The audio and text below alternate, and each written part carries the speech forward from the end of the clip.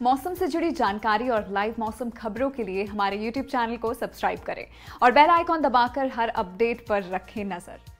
नमस्ते दोस्तों, sky met weather में आपका एक बार फिर स्वागत है। मेरा नाम महेश फलावत है। अब मौसमी गतिविधियाँ काफ़ी ज़्यादा कम हो गई हैं, जो मध्य भारत को परेशान कर रही थी पिछले दो तीन दिनों से। पिछले 24 घंटों में देखा कि लगभग समाप्त हो गई हैं। बहुत हल्की मेघ गर्जना कुछ इलाकों में देखने को मिली, हल्की बौछारें भी हुई हैं।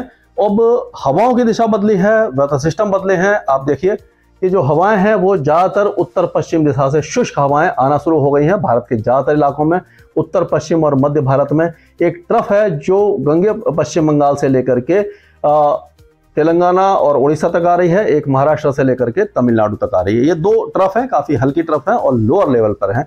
जब निचले स्तर पर ट्रफ होती है तो बहुत ही ज़्यादा वेदर एक्टिविटी के चांसेस नहीं होते, क्योंकि ये जो हवाएँ हैं, वो बहुत ज़्यादा ऊपर तक नहीं उठ पाती तो घने बादल नहीं बना पाती और बारिश नहीं हो पाती, हल्की बारिश होती है।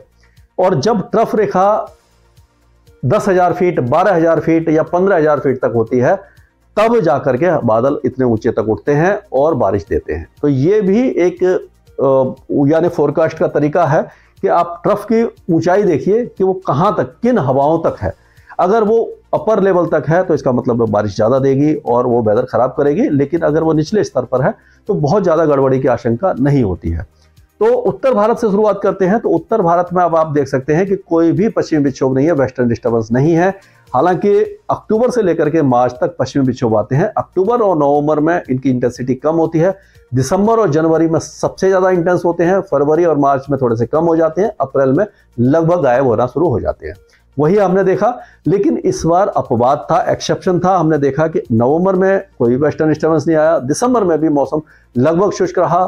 साल के आखिर में अच्छा पश्चिमी विक्षोभ आया, उसने स्नोफॉल दिया। जनवरी में दो तीन बड़े वेस्टर्न डिस्टर्बेंस आए, जिन्होंने भारी स्नोफॉल दिया और फरवरी एक बार फिर से गर्म निकला, शुष्क निकला। मार्च का सेकेंड हाफ़ में जाकर के फिर से पश्चिमी विक्षोभों ने अपना असर दिखाना शुरू किया। तो मार्च का सेकेंड हाफ़ इतनी ज़्यादा बारिश दे गया कि फ़सलों को बर्बाद कर गया। लेकिन अब जो बारिश की गतिविधियाँ हैं, लगभग समाप्त हो चुकी हैं और पूरे भारत में शांति है, इत्मीनान है। किसान भाइयों के लिए अच्छी खबर यह है कि अगले कुछ दिनों तक बारिश की संभावना बहुत ज़्यादा कम है, अपना काम वो कर सकते हैं। पंजाब और हरियाणा, दिल्ली और उत्तर प्रदेश इन इलाकों के किसान भाइयों को कोई भी चिंता करने की आवश्यकता नहीं है। किसी भी तरह की मौसमी गतिविधि इस इलाके में दिखाई नहीं देने वाली। पहाड़ों पर भी मौसम साफ़ रहेगा, तापमान धीरे धीरे बढ़ेंगे, गर्मी परेशान करेगी, लेकिन बारिश आपको परेशान नहीं करेगी। राजस्थान के ज़्यादातर इलाके श्रीगंगानगर, हनुमानगढ़, चूरू, बीकानेर, झुंझुनू, सीकर, अलवर, भरतपुर से लेकर के जैसलमेर हो गया और सवाई माधोपुर है, अजमेर ये सारे इलाके भी मेरे ख्याल से पूरी तरह साफ़ रहने वाले हैं। और वैसे तो पूरा राजस्थान साफ़ रहेगा, लेकिन 12-13 तारीख को जो दक्षिणी और दक्षिण पूर्वी राजस्थान के साथ साथ गुजरात और पश्चिमी मध्य प्रदेश के कुछ इलाकों में हल्की बारिश होने की संभावना है और मेघ गर्जना वगैरह हो सकती है। उस समय एक ट्रफ रेखा जो इस समय आप देखिए एंटी क्लॉकवाइज विंड घूम रही है और उस समय एक ट्रफ रेखा इस तरह से बनने के चांसेज लग रहे हैं और वो जो हवाएँ हैं, वो ये इस तरह से, ये जो क्या कहते हैं हम ये अरब सागर से हवाएँ आना शुरू हो जाएँगी। और जब अरब सागर से हवाएँ आएँगी, इधर से जब आएँगे तो नमी लेकर के आएँगे और यहाँ पर वेदर एक्टिविटी देगी लेकिन वो बहुत ज़्यादा परेशान नहीं करने वाली है। पूर्वी भारत में भी, पूर्वी उत्तर प्रदेश से लेकर के पूरा पश्चिम बंगाल, बिहार, झारखंड, उड़ीसा, ये इलाके अब शुष्क रहने वाले हैं। उड़ीसा में एक दो स्थानों पर बादल गरज सकते हैं। पूर्वोत्तर राज्यों में भी केवल अरुणाचल प्रदेश में कुछ वेदर एक्टिविटी है, बाकी पूर्वोत्तर भारत पूरी तरह शुष्क रहेगा। सिक्किम में हल्की बुल्की बारिश की संभावना है।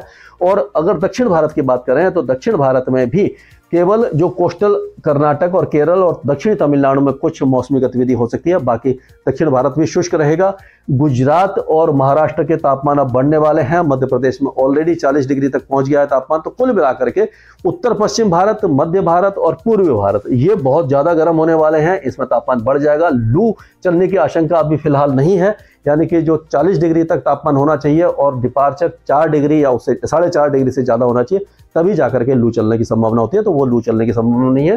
तो कुल मिलाकर के दक्षिण भारत के कुछ इलाकों में और अरुणाचल प्रदेश में बारिश की संभावना है। बाकी इलाके शुष्क रहेंगे। क्यों नमी बनी हुई है तो एक दो स्थानों पर मध्य भारत में बादल गरज सकते हैं, लेकिन मौसमी गतिविधि ज़्यादा नहीं होगी। बारह तेरह तारीख को जो मैंने बताया कि आपको दक्षिणी और दक्षिण पूर्वी राजस्थान के साथ साथ गुजरात और पश्चिम मध्य प्रदेश में बादल गरज सकते हैं। एक दो स्थानों पर हल्की बौछारें देखने को मिल सकती है। उसके आगे जो भी अपडेट होगा, मैं आगे अपडेट दूँगा स्काई मेट वेदर में। अभी के लिए इतना ही।